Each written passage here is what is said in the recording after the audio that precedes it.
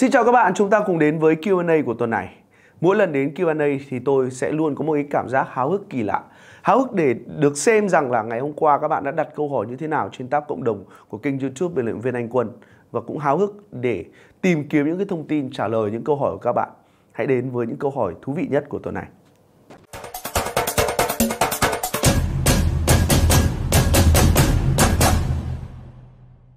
Bạn à, Lê Vĩnh Khang, em chào anh Quân, anh cho em hỏi là với khởi đầu mùa giải không được suôn sẻ bộ tứ BRMV của Real Madrid chưa ăn ý hiểu nhau thì anh có nghĩ rằng liệu thời gian sắp tới huấn luyện viên đội có thể khai thác cũng như bố trí vị trí phù hợp cho cả bộ tứ này cùng có tên trên sân được hay không? Cảm ơn anh đã cho em lên sóng. Chúc anh thật nhiều sức khỏe và cùng ekip làm ra nhiều video thú vị về bóng đá hơn. Cảm ơn bạn rất là nhiều. Đây cũng là một câu hỏi đang được rất nhiều cổ viên Real Madrid quan tâm. Hãy đến với câu trả lời. Carlo Ancelotti đang đối mặt với một thử thách không nhỏ khi phải tìm cách khai thác tối đa tài năng và bố trí vai trò thi đấu phù hợp cho bộ tứ tấn công gồm Jude Bellingham, Vinicius Junior, Rodrigo và Kylian Mbappe. Mỗi cầu thủ đều có những phẩm chất riêng biệt và việc kết hợp họ trong cùng một đội hình yêu cầu một sự cân nhắc, chiến thuật kỹ lưỡng. Jude Bellingham đã thể hiện mình là một tiền vệ box to box với khả năng tấn công và phòng ngự toàn diện. Ancelotti có thể khai thác sự sáng tạo của Jude Bellingham ở trung tâm hàng tiền vệ, cho phép anh đóng vai trò cầu nối giữa hàng phòng ngự và hàng tấn công.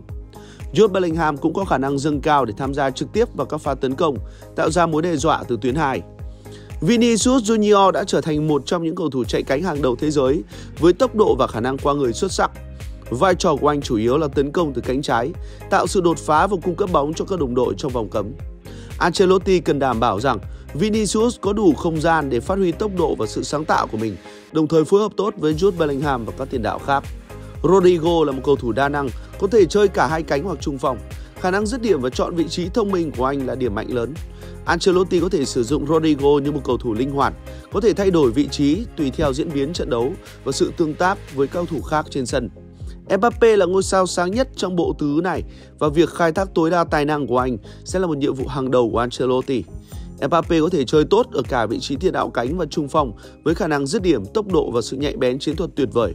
Ancelotti có thể sử dụng Mbappe như một tiền đạo tự do, cho phép anh khai thác không gian và tạo ra sự bất ngờ cho hàng thủ đối phương.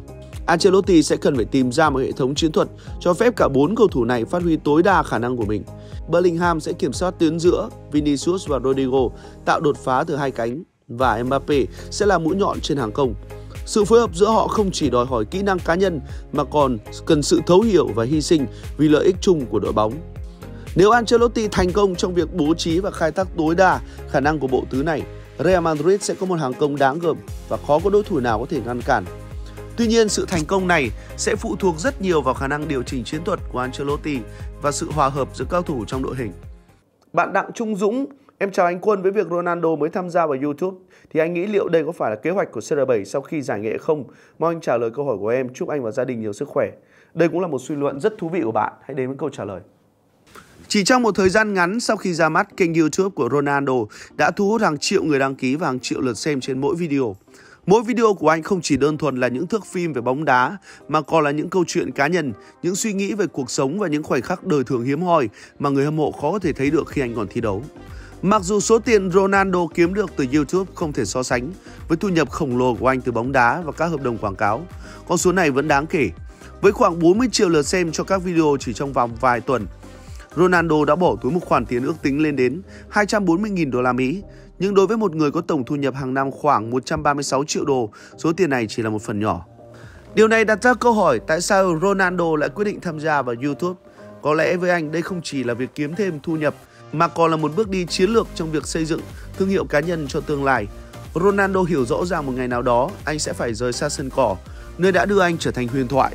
Và khi đó một kênh YouTube với hàng triệu người theo dõi sẽ giúp anh duy trì sự kết nối với người hâm mộ. Tiếp tục chia sẻ câu chuyện của mình và không để tên tuổi bị lãng quên. Thêm vào đó, kênh YouTube có thể là nền tảng để Ronaldo phát triển các dự án truyền thông mới, từ việc phỏng vấn với các nhân vật nổi tiếng, tham gia postcard đến chia sẻ những kiến thức và kinh nghiệm quý báu của anh trong suốt sự nghiệp. Đây có thể xem là sự chuẩn bị tinh tế cho giai đoạn hậu bóng đá của Ronaldo, nơi mà anh vẫn có thể tỏa sáng như ở một sân khấu khác. Với tất cả những lý do trên, kênh YouTube của Ronaldo không chỉ đơn thuần là một công cụ kiếm tiền, mà còn là biểu tượng cho sự chuyển mình khéo léo của anh từ một ngôi sao sân cỏ thành một nhân vật có sức ảnh hưởng lớn trong lĩnh vực truyền thông kỹ thuật số. Bạn Quân Trần, em chào anh Quân. Anh nghĩ sao về việc ban lãnh đạo Man United bổ nhiệm Van Gaal làm trợ lý huấn luyện viên? Còn có một ẩn ý ngầm là nếu Ten Hag bị sa thải thì Rod sẽ được quy hoạch làm huấn luyện viên mới của Man United. Với việc Rod có kinh nghiệm dẫn dắt hồi ở Hà Lan với cái uy của một sát thủ thì sẽ dễ bảo ban cầu thủ MU sau một thời gian làm quen với cầu thủ ở trong đội.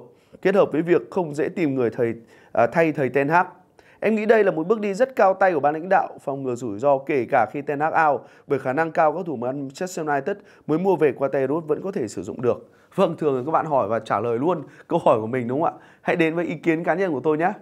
Theo cảm nhận của riêng tôi thì dường như đúng là ban lãnh đạo Man United đang có ý làm như vậy. Bởi lẽ so với các trợ lý khác thì rõ ràng truyền thông ở Anh Quốc đang yêu ái Ruth Van Nistelrooy hơn hẳn. Những bài tập của Van Gogh được đưa ra mổ xẻ từ các bài tập uốn nắn động tác dứt điểm cho các cầu thủ đến các bài tập 7 đánh 7 quen thuộc đều được truyền thông đề cao. Hơn nữa, những góc máy truyền hình cũng khá yêu ái cho huyền thoại Man United. Những khoảnh khắc kiểu như anh lại gần và tương tác với Garnacho sau một trận đấu cũng đã được ghi lại một cách kỹ lưỡng. Van Gogh hiện đang được xem như là thái tử cho vị trí huấn luyện viên trưởng của Manchester United. Đó là cách lý giải duy nhất cho toàn bộ những động thái của Man United. Họ luôn miệng tuyên bố tin tưởng Erik ten Hag nhưng lại chỉ ký thêm đúng một năm so với hợp đồng cũ. Nhưng ở một động thái khác họ lại tiến hành Ajax khóa Man United theo đúng sở nguyện của ten Hag. Thế thì giả sử ông ten Hag làm không tốt trong vòng 3 tháng tới và bị sa thải, vậy thì nhóm Ajax Hà Lan đó tại Man United sẽ đi về đâu? Câu trả lời có lẽ nằm ở chính Van Gogh. Ông là một người Hà Lan, từng nắm một đội ở đỉnh cao và cũng không lạ gì văn hóa và cách chơi tại Ajax. Đó là một điều tương đối hợp lý và cũng là một nước đi khá hay. Một điều cần phải nhắc đến nữa đó là Van Gaal vừa là trợ thủ, vừa là đối thủ của Erik ten Hag. Đó sẽ là một động lực không nhỏ để thầy Mười có thêm động lực chứng minh năng lực tại một đội bóng cỡ như là Manchester United. Thế nhưng đó vẫn là những suy đoán bởi lẽ việc trao đại quyền vào tay của Van Gaal cũng rủi ro chẳng khác gì so với tiếp tục đặt niềm tin vào Erik ten Hag. Van Gaal đúng là có nắm đội mạnh đua top hẳn hoi, thế nhưng kinh nghiệm thực chiến của ông vẫn còn tương đối hạn chế. Và với một huấn luyện viên đội lớn, khả năng thay đổi thích nghi theo tình hình thực tế là một câu chuyện ưu tiên hàng đầu. Bạn Phúc Chelsea, em chào anh Quân và ekip có thông tin Sancho sang Chelsea. Vậy theo anh thương vụ này có khả năng khả thi không và liệu Sancho có thể lấy lại phong độ không? Mong anh trả lời em. Vâng, tôi nghĩ là Sancho nên ra đi. Việc Jadon Sancho có thể hồi sinh phong độ nếu chuyển đến Chelsea là một chủ đề thu hút nhiều sự quan tâm, đặc biệt trong bối cảnh anh đang gặp khó khăn tại Manchester United. Sau một thời gian thi đấu không như mong đợi và mâu thuẫn với luyện viên Erik ten Hag, tương lai của Sancho tại Old Trafford trở nên mờ mịt. Chính điều này đã dẫn đến tin đồn về khả năng anh sẽ rời đi. Với Chelsea được xem là một điểm đến tiềm năng. Tuy nhiên, liệu việc chuyển đến Stamford Bridge có thể giúp Sancho tìm lại phong độ đỉnh cao hay không phụ thuộc vào nhiều yếu tố quan trọng. Trước hết, cần nhắc đến bối cảnh hiện tại tại Chelsea. Dưới sự dẫn dắt của huấn luyện viên Enzo Maresca, Chelsea đang xây dựng lại đội hình với nhiều cầu thủ trẻ và tài năng, tạo ra một sự cạnh tranh khốc liệt cho các vị trí chính thức. Đội bóng này đã có những bản hợp đồng mới có thể chơi cùng vị trí như Pedro Neto hay Joao Felix. Điều này đồng nghĩa với việc Sancho sẽ phải nỗ lực rất nhiều nếu muốn có được suất đá chính. Khả năng tích nghi của Sancho với triết lý bóng đá của Maresca sẽ là yếu tố quyết định đầu tiên. Nếu anh có thể hòa nhập và phát huy được lối chơi tốc độ, sáng tạo của mình, khả năng anh lấy lại phong độ là hoàn toàn khả thi. Tuy nhiên không thể bỏ qua yếu tố áp lực từ truyền thông và người hâm mộ. Chelsea là một câu lạc bộ lớn và áp lực tại đây không hề nhỏ. Sancho sau những thất bại tại Manchester United sẽ phải đối mặt với sự soi xét rất kỹ lưỡng. Điều này đòi hỏi anh không chỉ phải tập trung vào việc cải thiện phong độ mà còn phải xử lý tốt các áp lực bên ngoài sân cỏ. Mặt khác, nếu anh có thể biến áp lực thành động lực thì Stamford Bridge có thể là nơi để anh khẳng định lại giá trị của mình. Cuối cùng, sự hỗ trợ từ ban huấn luyện sẽ đóng vai trò quan trọng trong việc Sancho có thể lấy lại phong độ hay không. Huấn luyện viên Enzo Maresca với triết lý bóng đá và cách quản lý cầu thủ trẻ có thể mang lại cho Sancho những cơ hội ra sân đều đặn và sự tin tưởng cần thiết.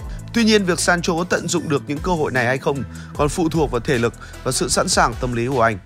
Bạn Football Knowledge, em chào bình luận viên Anh Quân, em rất thích xem và tìm hiểu bóng đá qua YouTube, đặc biệt là kênh của anh. Em có một thắc mắc khi mà CR7 tạo kênh YouTube mong anh giải đáp ở Q&A tuần này. Anh cho em hỏi trước Cristiano Ronaldo đã có những cầu thủ nào tạo tài khoản YouTube và có thành công hay không? Cảm ơn anh đã trả lời. Chúc anh và ekip nhiều sức khỏe. Thành công nếu mà không để ờ, Ronaldo vào cái bảng xếp hạng đó. Chứ còn nếu mà để Ronaldo vào bảng xếp hạng đó thì thực sự là không có nhiều cầu thủ thành công. Trước khi Cristiano Ronaldo lập kênh YouTube, có một số cầu thủ khác đã thử sức với việc lập kênh YouTube cá nhân và đạt được một số thành công. Một ví dụ điển hình là thủ môn nổi tiếng người Đức Manuel Neuer. Neuer đã lập kênh YouTube của mình để chia sẻ về cuộc sống cá nhân, các buổi tập luyện và những hoạt động liên quan đến bóng đá. Kênh của anh thu hút được một lượng lớn người theo dõi, đặc biệt là những người hâm mộ quan tâm đến kỹ thuật và kinh nghiệm của một trong những thủ môn hàng đầu thế giới. Rio Ferdinand, cựu trung vệ của Manchester United đã lập kênh YouTube mang tên là Rio Ferdinand Prison. Kênh này chuyên về các nội dung liên quan đến bóng đá từ những cuộc phỏng vấn với cao thủ, bình luận về các trận đấu đến những thách thức bóng đá với các ngôi sao khác. Kênh YouTube của Rio Ferdinand đã thu hút một lượng lớn người theo dõi và trở thành một phần quan trọng trong sự nghiệp sau khi giải nghệ của anh. Sergio Aguero, tiền đạo người Argentina nổi tiếng với sự nghiệp ở Manchester City, đã lập kênh YouTube mang tên là Slacon 10, biệt danh của anh. Trên kênh này, Aguero thường chia sẻ các video về cuộc sống cá nhân, các hoạt động ngoài bóng đá và đặc biệt là những buổi livestream chơi game. Kênh của Aguero nhanh chóng thu hút hàng triệu người theo dõi, đặc biệt là khi anh chia sẻ những khoảnh khắc vui nhộn và thân thiện của mình ngoài sân cỏ. Hector Bellerin, hậu vệ của Arsenal và đội tuyển Tây Ban Nha Bellerin đã tạo ra một kênh YouTube để chia sẻ về phong cách sống, thời trang và các vấn đề xã hội mà anh quan tâm. Kênh của Bellerin được biết đến với những nội dung có tính thẩm mỹ cao và phản ánh cá tính độc đáo của anh. Điều này đã giúp anh không chỉ kết nối với người hâm mộ bóng đá mà còn với những người yêu thích thời trang và văn hóa. Jesse Lingard, cầu thủ của Man United, Lingard cũng có một kênh YouTube nơi anh chia sẻ những video về cuộc sống hàng ngày, các buổi tập luyện và các thử thách vui nhộn với đồng đội. Kênh của Lingard đã giúp anh xây dựng một hình ảnh trẻ trung gần gũi với người hâm mộ và thu hút một lượng lớn người theo dõi. Bạn à, Đồng hồ doanh nhân, chào bình luận viên Anh Quân. Theo anh, thời điểm hiện tại ai là tiền vệ cánh phải xuất sắc nhất thế giới? Liệu đó là Van Verdi hay một cái tên nào khác xứng đáng hơn? Chúc anh, gia đình cùng ekip thật nhiều sức khỏe. Cảm ơn anh. Vâng, chúng ta hãy cùng xếp hạng nhé. Hiện nay một số cầu thủ chơi ở vị trí tiền vệ cánh phải được đánh giá cao trên thế giới, có thể kể đến như Federico Valverde của Real Madrid. Valverde nổi bật với tốc độ, khả năng tấn công và phòng ngự toàn diện. Anh thường xuyên góp mặt trong đội hình chính của Real Madrid và đóng vai trò quan trọng trong cả khâu ghi bàn lẫn kiến tạo. Bernardo Silva của Man City. Silva là một trong những tiền vệ linh hoạt nhất hiện nay với khả năng giữ bóng, truyền bóng và tạt bóng xuất sắc. Anh có thể chơi ở nhiều vị trí khác nhau trên hàng tiền vệ và thường đóng vai trò quan trọng trong các trận đấu lớn của Manchester City. Joshua Kimmich của Bayern Munich. Mặc dù thường chơi ở vị trí tiền vệ trung tâm, Kimmich cũng rất hiệu quả khi chơi ở vị trí tiền vệ phải. Anh có khả năng kiểm soát trận đấu, truyền bóng chính xác và thực hiện các quả phạt góc hay tạt bóng nguy hiểm. Riyad Mahrez của Al Ahly. Trước khi chuyển đến Al Ahly, Mahrez là một trong những tiền vệ phải xuất sắc tại Premier League với khả năng đi bóng kỹ thuật và những cú sút xa uy lực. Ngoài ra, chúng ta cũng có thể kể đến những trường hợp cầu thủ chơi trong vai trò tiền đạo cánh hay là chạy cánh phải xuất sắc nhất hiện nay. Mohamed Salah Liverpool. Salah là một trong những tiền đạo cánh phải xuất sắc nhất thế giới với khả năng ghi bàn đáng kinh ngạc tốc độ và kỹ thuật cá nhân tuyệt vời. Anh đã giành được nhiều danh hiệu cá nhân và tập thể cùng Liverpool, bao gồm cả Champions League và Premier League. Lionel Messi Inter Miami dù đã chuyển đến Inter Miami và chơi ở MLS, Messi vẫn giữ được đẳng cấp cao với khả năng đi bóng, dứt điểm và tạo cơ hội không ai sánh kịp. Anh là một trong những cầu thủ vĩ đại nhất lịch sử và vẫn thi đấu với phong độ ấn tượng ở tuổi 37. Bukayo Saka Arsenal. Saka đã vươn lên trở thành một trong những cầu thủ quan trọng nhất của Arsenal và tuyển Anh. Anh sở hữu tốc độ, sự sáng tạo và khả năng ghi bàn từ cánh phải, đồng thời còn rất hiệu quả trong việc hỗ trợ phòng ngự. Rodrigo của Real Madrid. Rodrigo đang nổi lên như một trong những tài năng trẻ sáng giá nhất ở vị trí RW. Anh có khả năng đi bóng khéo léo, dứt điểm sắc bén và luôn biết cách tỏa sáng trong những trận đấu lớn. Bạn Khánh Xã Giao xin chào bình luận Anh Quân. Câu hỏi của em dành cho anh và ekip là với việc cán mốc ở vị trí thứ tư tại ngoại Anh mùa giải trước để có tấm vé dự cúp C1 thì liệu với đội hình mùa này của Aston Villa họ có thể trở thành ngựa ô ở C1 và vẫn giữ vững phong độ là đối thủ cực kỳ khó chịu với nhóm Big Six không? Cảm ơn anh và ekip, chúc anh và ekip có nhiều sức khỏe. Tôi à, đã xem họ ở trận đầu tiên và quả thực là tôi rất ấn tượng với họ. Aston Villa đang bước vào mùa giải 2024-2025 với những thách thức lớn khi phải đối mặt với cuộc chiến trên cả hai mặt trận, Ngoại Anh và Champions League. Sau khi kết thúc mùa trước với vị trí thứ tư tại giải Ngoại Anh, đội bóng huấn luyện viên Unai Emery đã chính thức giành quyền tham dự đấu trường danh giá nhất châu Âu.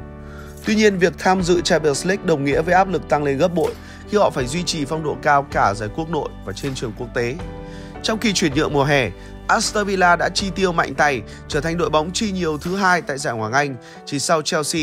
Những bản hợp đồng mới bao gồm các tên tuổi đáng chú ý như Amadou Onana từ Everton, Ian Marcel từ Chelsea và nhiều cầu thủ tiềm năng khác. Mục tiêu của Aston Villa rõ ràng là củng cố đội hình để đủ sức cạnh tranh ở cả hai đấu trường. Tuy nhiên, Aston Villa cũng đã phải chia tay với Douglas Luiz, một trong những cầu thủ quan trọng nhất của họ mùa giải trước. Việc mất đi tiền vệ người Brazil, một cầu thủ có tầm ảnh hưởng lớn trong lối chơi của đội, chắc chắn sẽ đặt ra những câu hỏi về khả năng duy trì sự ổn định của Villa trong mùa giải này. Việc lấp đầy khoảng trống mà Luis để lại sẽ là một nhiệm vụ không hề dễ dàng cho Unai Emery.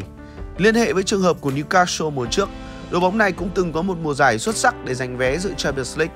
Tuy nhiên, sau đó họ đã gặp phải những khó khăn lớn trong việc phân bổ lực lượng và gặp phải hàng loạt chấn thương. Kết quả là Newcastle đã thất bại ở cả ngoại Anh lẫn Champions League, không thể duy trì được phong độ và cuối cùng mất vé dự cúp châu Âu. Những thách thức mà Aston Villa đối mặt mùa này rõ ràng là không hề nhỏ. Họ sẽ cần một chiến lược phân bổ lực lượng hợp lý để tránh lặp lại vết xe đổ của Newcastle. Việc xoay tua đội hình giữ cho các trụ cột luôn ở trạng thái thể lực tốt nhất và đối phó với lịch thi đấu dày đặc sẽ là những yếu tố then chốt quyết định thành công của họ trong mùa giải này. Huấn luyện viên Unai Emery với kinh nghiệm dày dạn của mình sẽ phải chứng minh rằng ông có thể đưa Aston Villa vượt qua những khó khăn này để tiếp tục cạnh tranh ở cả hai mặt trận. TVH Real, một cái câu hỏi rất dài và để đọc câu hỏi này của bạn thì quả thực là không thể đọc hết. Đại khái là tại sao Xavi Simon lại không được sử dụng vào lúc này? Hãy đến với câu trả lời. Xavi Simon là một tài năng trẻ sáng giá của bóng đá châu Âu.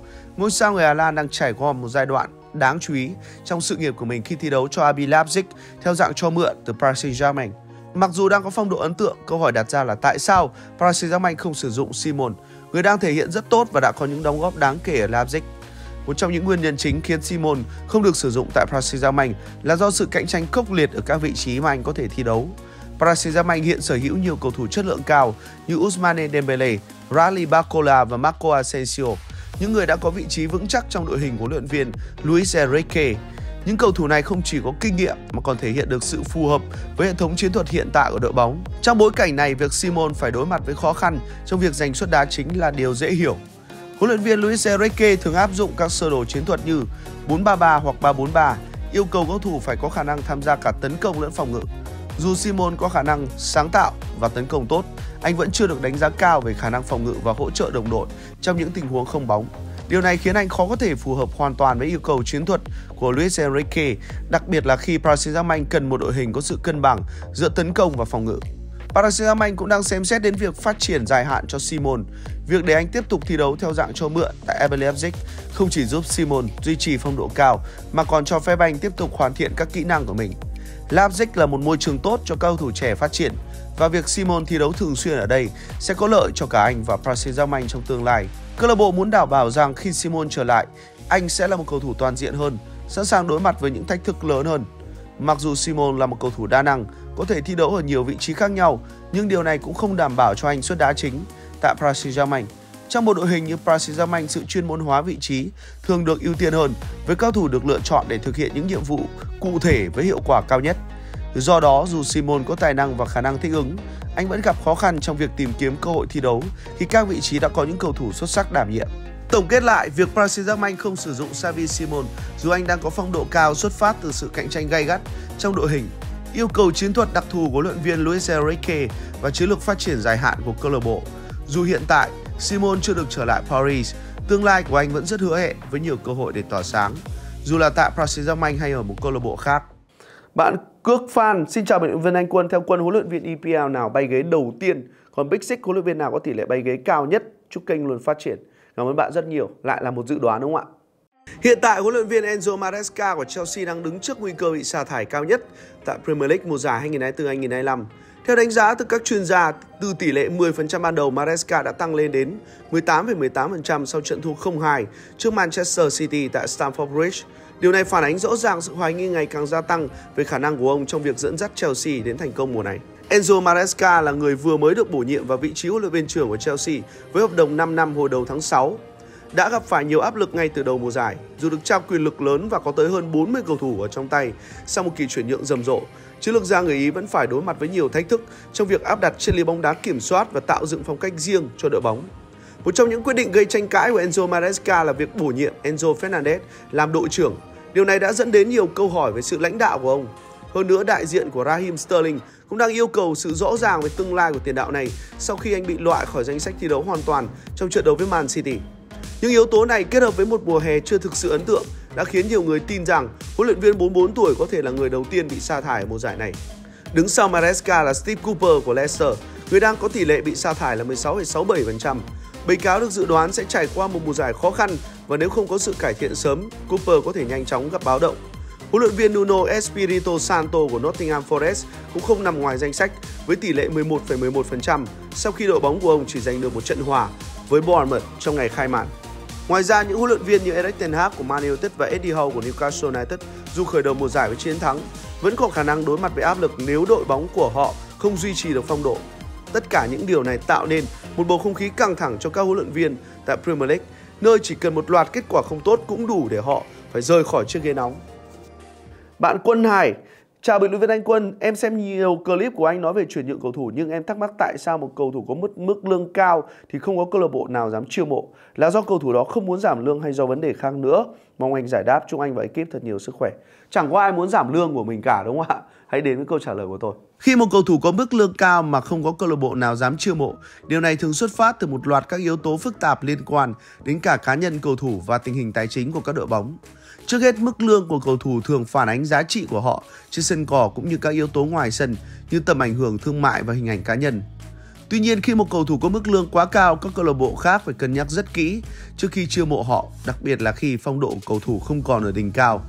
Một trong những lý do chính khiến các câu lạc bộ e ngại chiêu mộ cầu thủ lương cao là vì cầu thủ đó không muốn giảm lương khi cầu thủ đã quen với mức lương cao, việc chuyển đến một câu lạc bộ mới với mức lương thấp hơn có thể không hấp dẫn, dẫn đến việc các câu lạc bộ khác không muốn đầu tư vào họ. Điều này thường xảy ra với cầu thủ ở giai đoạn cuối của sự nghiệp, khi phong độ bắt đầu giảm sút nhưng họ vẫn muốn duy trì mức lương như trước. Câu chuyện về David De Gea là minh chứng rõ ràng nhất. Thủ thành người Tây Ban Nha đã thất nghiệp hơn một năm khi từ chối giảm lương để ở lại Man United. Sau cùng anh đã đến Serie A với mức lương 3 triệu euro một mùa, con số chỉ bằng 1 phần 7 so với thời điểm anh còn ở sân Old Trafford. Bên cạnh đó, tuổi tác và phong độ cũng là yếu tố quan trọng. Khi một cầu thủ lớn tuổi và không còn duy trì được phong độ đỉnh cao, việc chiêu mộ họ với mức lương cao trở thành rủi ro lớn. Các câu lạc bộ phải đánh giá xem liệu đầu tư một khoản tiền lớn vào một cầu thủ có thể không còn đóng góp dài hạn có thực sự đáng hay không. Ví dụ Alexis Sanchez khi chuyển từ Man United sang Inter Milan đã phải chấp nhận giảm lương để có thể tiếp tục sự nghiệp. Điều này phản ánh sự khó khăn khi một cầu thủ lớn tuổi với mức lương cao tìm kiếm một câu lạc bộ mới. Ngoài ra, quản lý quỹ lương của câu lạc bộ cũng là một yếu tố quyết định. Quỹ lương là ngân sách mà câu lạc bộ dành để trả lương cho cầu thủ và thành viên trong đội ngũ. Khi quỹ lương bị quản lý không hiệu quả hoặc vượt quá khả năng tài chính, nó có thể dẫn đến những hệ lụy như mất cân bằng trong đội hình hoặc thậm chí đẩy câu lạc bộ vào tình trạng nợ nần. Ví dụ Barcelona đã gặp khó khăn lớn về tài chính trong những năm gần đây do quỹ lương vượt quá khả năng, buộc họ phải chia tay nhiều ngôi sao lớn như Lionel Messi để giảm bớt áp lực. Cuối cùng, sự cân bằng trong đội hình cũng là một yếu tố quan trọng. Một đội bóng có quá nhiều cầu thủ lương cao có thể gặp khó khăn trong việc duy trì sự hài hòa và động lực trong đội ngũ. Nếu một số cầu thủ cảm thấy mình không được trả lương tương xứng với đóng góp của họ, điều này có thể dẫn đến sự bất mãn và ảnh hưởng tiêu cực đến tinh thần của toàn đội.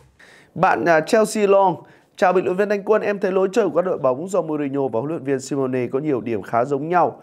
Nếu Simone rời Atletico Madrid thì một vài năm sau ông có rơi vào tình trạng mà mọi người hay gọi Almeta giống như Mourinho hiện tại hay không?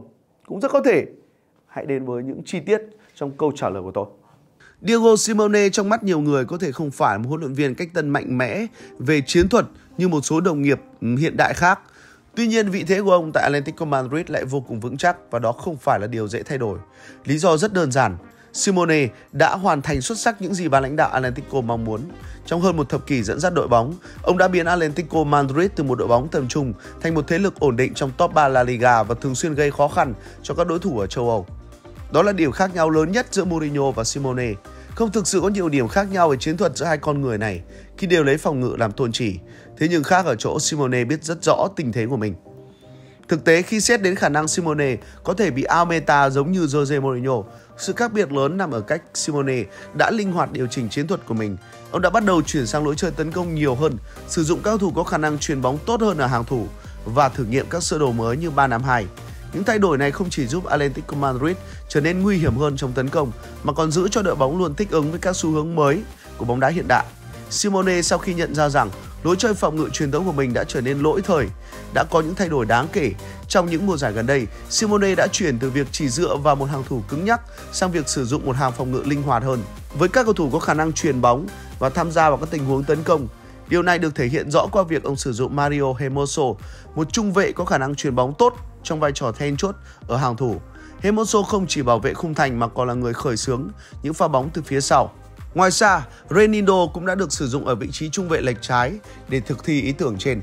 Ngoài ra, Arsene Vincent vốn là một tiền vệ phòng ngự được kéo về đá trung vệ để tăng cường khả năng kiểm soát bóng và tổ chức tấn công từ tuyến dưới. Đây là một sự điều chỉnh quan trọng cho phép Atlético Madrid duy trì sự chắc chắn trong phòng ngự, nhưng đồng thời cũng cải thiện khả năng tấn công, tạo ra nhiều cơ hội hơn so với trước đây. Cũng cùng là 352, Nếu như Mourinho thường xuyên sử dụng hai wingback có xu hướng chơi phòng ngự thì Simone lại dùng một bộ đôi wingback vẫn có xu hướng công nhiều hơn. Ông sử dụng Nahuel Molina và Samuel Lino hoặc Lorente hoặc là Riquelme. Trước đây là Granit Carrasco, trong khi hai wingback của Mourinho thường là những hậu vệ biên thuần túy. Bạn Lý Tiểu Long, em chào anh Quân, anh cho em hỏi tại sao các câu lạc bộ ở Tây Ban Nha khi được bán cho chủ mới nhưng chủ mới đó lại không phải đến từ các ông chủ giàu có ở Trung Đông nhỉ? Em thấy nếu họ lên nắm quyền, chắc chắn câu lạc bộ đó sẽ thay đổi cực kỳ lớn và có thể trở nên mạnh hơn cũng như giải La Liga sẽ trở nên hấp dẫn giống như giải Ngoại hạng Anh hiện tại. Em cảm ơn và chúc anh nhiều sức khỏe. Mỗi quốc gia có một cái cơ chế đặc biệt khác nhau, đúng không ạ? Hãy đến với chi tiết câu trả lời. Việc các câu lạc bộ Tây Ban Nha ít khi được bán cho các chủ sở hữu mới đến từ Trung Đông có thể được giải thích qua một số lý do chính xác sau đây. Đầu tiên là văn hóa và lịch sử quản lý câu lạc bộ. Các câu lạc bộ Tây Ban Nha thường có lịch sử và văn hóa quản lý truyền thống rất mạnh mẽ. Nhiều câu lạc bộ, đặc biệt là các đội bóng lớn như Real Madrid hay FC Barcelona có mô hình quản lý bởi các thành viên, nghĩa là các cổ đông hoặc fan hâm mộ của câu lạc bộ. Mô hình này khiến việc bán câu lạc bộ cho một chủ sở hữu cá nhân từ bên ngoài trở nên phức tạp hơn. Thứ hai là kinh tế và pháp lý. Quy định và pháp luật ở Tây Ban Nha cũng có thể khó khăn hơn đối với việc mua lại các câu lạc bộ so với các nước khác.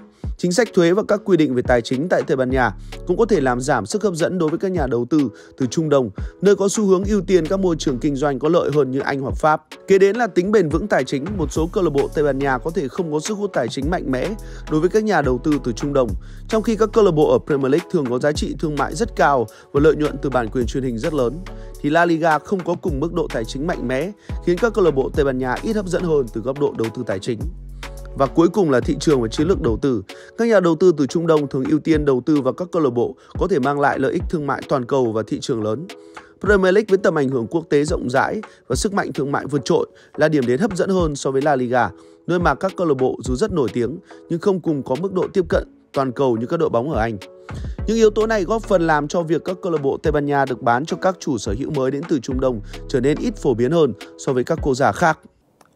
Bạn Nguyễn Quốc Tuấn, em chào anh Quân. Chúc anh và gia đình nhiều sức khỏe. Anh cho em hỏi tiền vệ của Man City sẽ chơi như thế nào với sự trở lại của Gundogan trong đội hình và liệu Kovacic và Gundogan có thể dẫm chân lên nhau hay không? Tôi nghĩ rằng là vị trí của họ sẽ khác nhau. Hãy đến với câu trả lời. Sự trở lại của Ike Gundogan mang đến cho Manchester City không chỉ là niềm vui mà còn là một sự bổ sung chất lượng cho hàng tiền vệ của đội bóng. Với kinh nghiệm chơi bóng lâu năm tại Premier League và khả năng kiểm soát trận đấu, Gundogan đáp ứng đúng những gì mà Guardiola đang tìm kiếm ở một tiền vệ số 6 hoặc số 8. Anh không chỉ giúp củng cố khả năng tấn công mà còn mang đến sự ổn định và lãnh đạo trong phòng thay đồ. Dù vậy, người hâm mộ Manchester City không cần quá lo lắng về vị trí của Matteo Kovacic. Dưới sự dẫn dắt của Pep Guardiola, Kovacic đã nhanh chóng hòa nhập và thể hiện khả năng thích nghi với lối chơi của đội. Việc có thêm Gundogan trong đội hình chỉ làm tăng thêm chiều sâu cho đội bóng và điều này sẽ giúp Guardiola dễ dàng luân phiên sử dụng cao thủ trong bối cảnh Man City phải đối mặt với lịch thi đấu dày đặc mùa này. Pep Guardiola luôn biết cách tận dụng tối đa nguồn lực mà ông có trong tay với hơn 70 trận đấu trong mùa giải này. Ông sẽ cần phải liên tục xoay tua đội hình để đảm bảo sức khỏe và phong độ cho cầu thủ. Với sự hiện diện của cả Gundogan và Kovacic, Guardiola sẽ có nhiều lựa chọn linh hoạt hơn cho hàng tiền vệ, giúp đội bóng duy trì sự ổn định trong suốt mùa giải. Tuy nhiên, người có thể phải lo lắng nhất trong tình huống này không phải là Kovacic mà là Mateus Nunes. Dù là một tài năng trẻ sáng giá nhưng Nunes có thể gặp khó khăn trong việc cạnh tranh vị trí với những tên tuổi đã có kinh nghiệm và đã khẳng định được mình như Gundogan và Kovacic. Khả năng cao Nunes sẽ phải chấp nhận một vai trò phụ trong mùa giải này, nhất là khi Guardiola cần sử dụng những cầu thủ có khả năng tạo đột biến cao trong những trận đấu quan trọng. Trong tổng thể, sự trở lại của Gundogan chắc chắn sẽ mang lại lợi ích cho Man City. Anh không chỉ giúp tăng cường chất lượng đội hình mà còn mang đến sự đa dạng trong chiến thuật của Guardiola. Tuy nhiên, điều này không đồng nghĩa với việc Kovacic bị đe dọa vị trí, mà ngược lại anh sẽ là một phần quan trọng trong sự xoay tua đội hình nhằm duy trì sức mạnh và sự ổn định cho Man City trong mùa giải đầy thử thách này. Nunes có thể phải chấp nhận ít cơ hội ra sân hơn khi đối mặt với những cầu thủ dày dặn kinh nghiệm như Gundogan và Kovacic. Vậy là chúng ta đã trả lời hết những câu hỏi của Q&A tuần này và hy vọng rằng là các bạn đã cảm thấy thú vị với những câu trả lời đó.